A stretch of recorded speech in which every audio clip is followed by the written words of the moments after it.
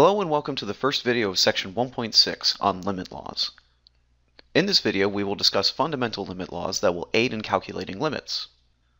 In section 1.5 we use graphs to get an intuitive understanding of limits.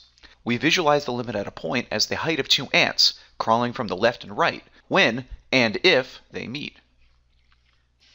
If you need to review, rewatch section 1.5 before continuing.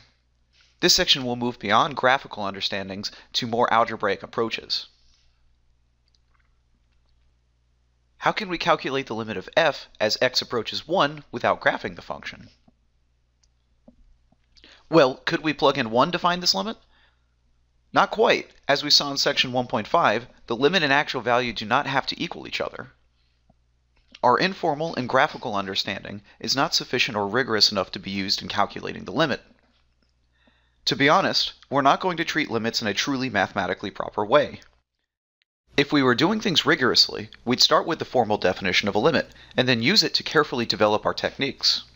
If you would like, you can read a little bit more about it in section 1.7, and if you take Math 478 in a few years, you'll learn this approach. The problem is, this kind of strictly mathematical approach requires a lot of mathematical training. That's why we don't teach it until Math 478. Instead, we'll focus on intuition and tools necessary for Calc 1. The following limit laws are derived directly from the formal definition of a limit. As we learn these laws, keep in mind that the limits of f and g exist. These laws are only guaranteed to hold if the limit of both f and g exist. The constant limit law states the obvious.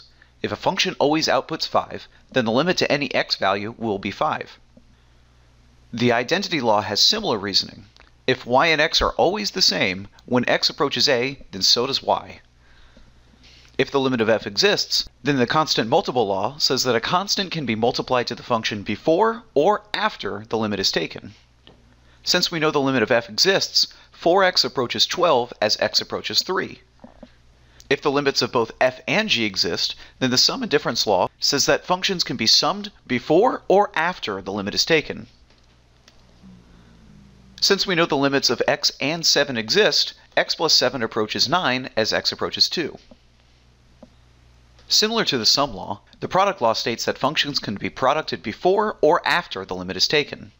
Since we know the limit of x exists, x squared approaches a squared as x approaches a.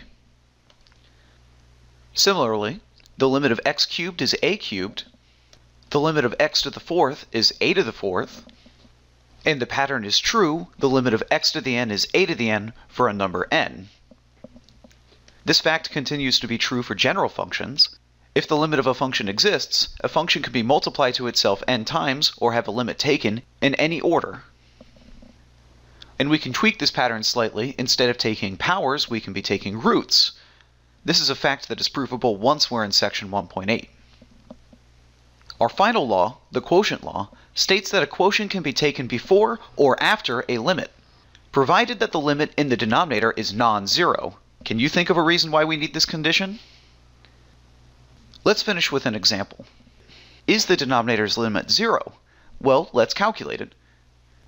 We know that the limit of x squared and the constants 5 and 1 exist, so we can use the difference law and then take the limit into the square root to find that the limit of the denominator is 1.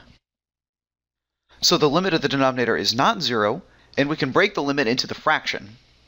We've already calculated the limit of the denominator, but what is the limit of the numerator? Well, the limit of x squared and 3 exist, so we can calculate the limit using the sum law and find that the limit is 12. Now that you have the basics on limit laws, be sure to strengthen your understanding through practice.